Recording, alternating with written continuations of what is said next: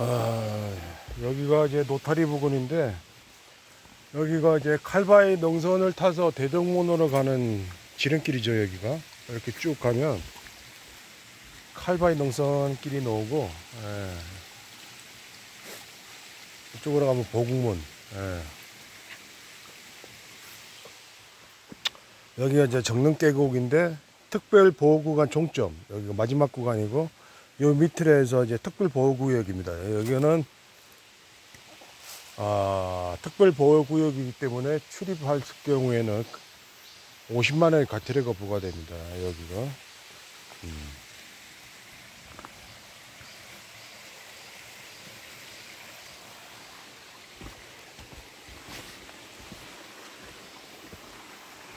음, 뭐 이런 데는 뭐 들어가서 좀 씻어도 되고 알 같은 거 좀 간단하게. 예. 대신 여기에서 뭐 목욕을 한다든지 추태를 부리면 안 되겠죠. 예, 모기장을 친다든지. 음식물 쓰레기를 버린다든지. 자기가 가져온 쓰레기는 반드시 가져가기를 바라고. 예.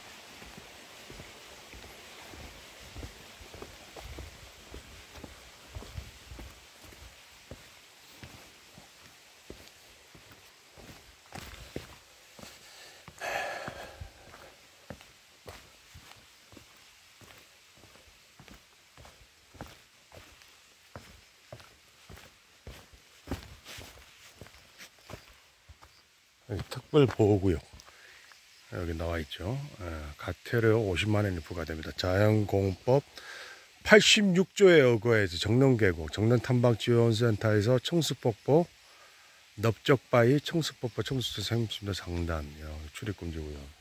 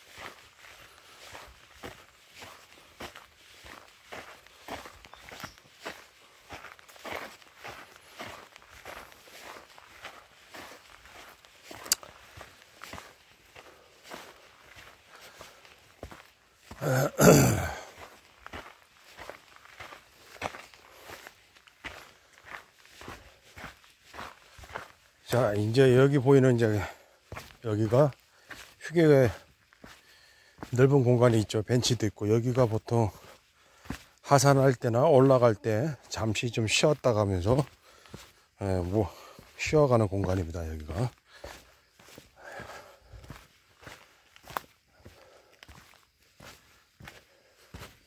이제 여기서 조금만 내려가면 정릉 탐방 지원센터가 있죠. 예.